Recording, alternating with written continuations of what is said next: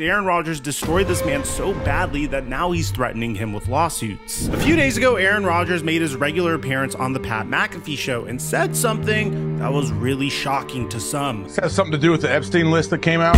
A lot of people, including Jimmy Kimmel, are really hoping that doesn't.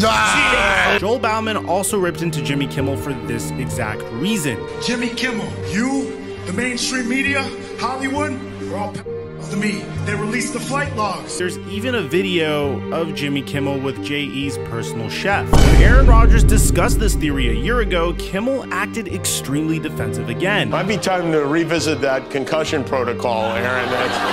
But this time, when Aaron Rodgers called out Jimmy Kimmel, he snapped and tweeted this. Dear For the record, I've not met, flown with, visited, or had any contact whatsoever with Epstein. Your reckless words put my family in danger. Keep it up, and we will debate the facts further in court. So people think Jimmy Kimmel is guilty because